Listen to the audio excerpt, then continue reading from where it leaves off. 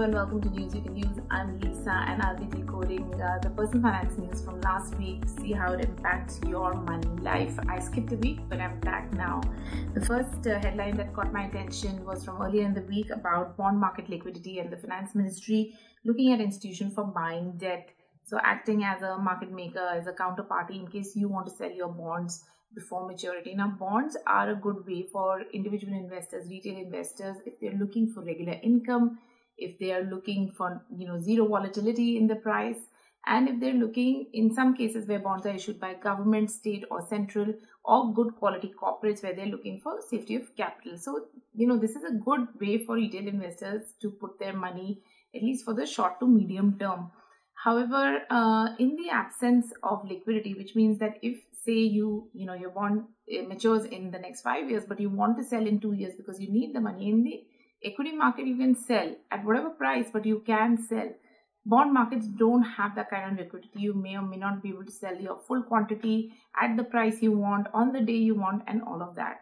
So having an institution there which is going to pick that demand up you know in case the natural demand is missing when you want to sell or when somebody wants to buy um, is a good thing, really. It also helps more corporates to access the bond markets, which means that for retail investors, there'll be more, um, uh, you know, variety available when you, you go to shop for bonds. Uh, but this is in, you know, very early stages. This is nothing yet, but if it happens, it's good news. Okay, credit score misused. How to fix this metric? Credit score is what uh, banks look at before giving you a loan, a credit card, or any kind of uh, you know borrowing that you want to do. Now what's happened is you may have read that uh, dhani which is a lender uh, an nbfc uh, had uh, some clients which came up with falsified documents you know fake pan numbers not fake but somebody else's pan numbers and got loans from dhani. Now if they default on those loans the person whose pan number it is their credit rating gets affected, which means that next time they go to any bank for a loan, could be a housing loan, a car loan, whatever, the rate that they will get will be much higher. They may not even get a loan if there's a default. So people misusing um, PAN numbers and credit scores attached to those PAN numbers and getting loans against that is very, very dangerous. What can you do to protect that it doesn't happen to you? Uh, I'm not sure. Right now, there seems to be no real way to stop this unless, you know, um, the nexus is found and how it's happening. For you, what you need to do is keep checking your credit score. Uh, you will be getting emails, you will be getting SMSs about your credit score. Don't ignore those. Go check your credit score uh, and see because that re- credit report will have, you know, your various loans which are attached to your PAN number. It'll have the rating and everything. And if you notice anything then you must take it up uh, with the bank uh, notify them tell them that this is not you with the lender. Um, so yeah i mean right now the onus is on the person who unfortunately is being wronged here. Um, but uh, do be careful about this. This is very important. Okay oil import bill to top 100 billion in current fiscal. Current fiscal means the financial year, which ends uh, at the end of this month, which is March. Um, yeah, so the oil import bill. Uh, so a lot is happening around the world. There is a war really where Russia is at war with Ukraine. What has happened as a result is oil prices have shot up to I think 120 dollars a barrel.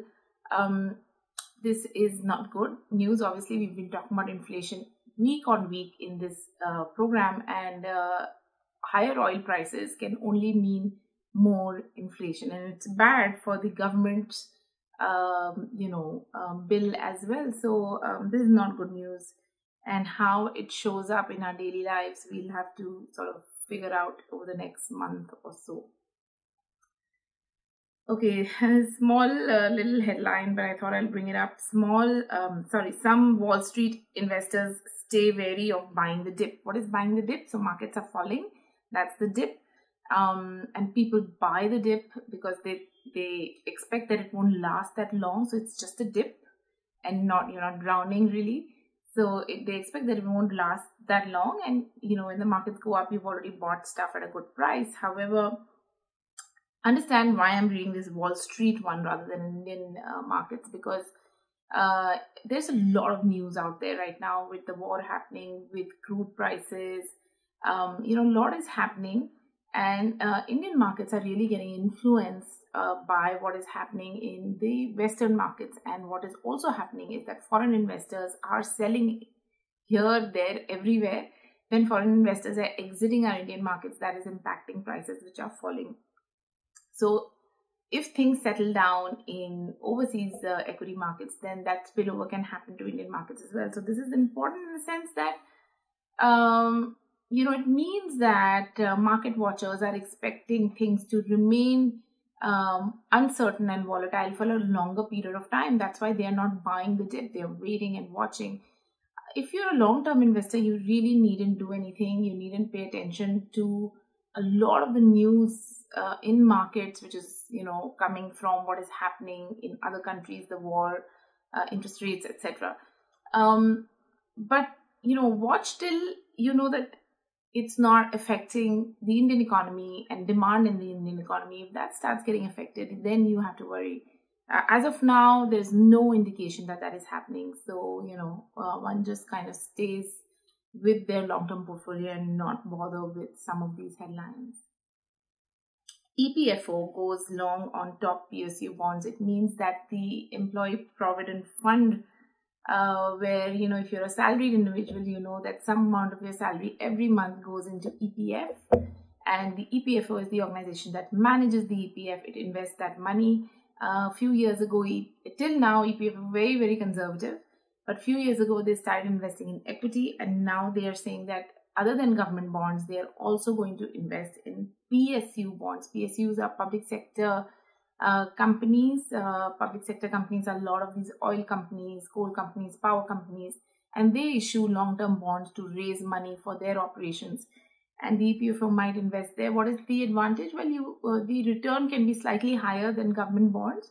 The risk can also be slightly higher, but there's a very small proportion that they're talking about. So uh, it should be good, I think, uh, if they are sort of selective in what they pick. Government bonds get affected, sorry, PSU bonds get affected a lot by government policies, so one has to watch out for that. But other than that, this should, uh, this should be good. May give a kicker to the return. Metal stocks sizzle as fighting rages. Again, war-related uh, stock market news. Yes, metal stocks have seen a rally, and it is it's it happens during war because you know the basics are that uh, these are limited commodities um, and hence their prices go up and you know war creates that kind of demand for metals. So that's another factor there.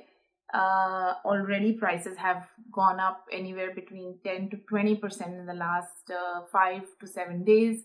It means a you know this is this is a kind of momentary change in uh, these stock prices. Um, if you're confident, you can capture the change in the time that it's happening, sure, but uh, for long term investors, this doesn't mean much at all.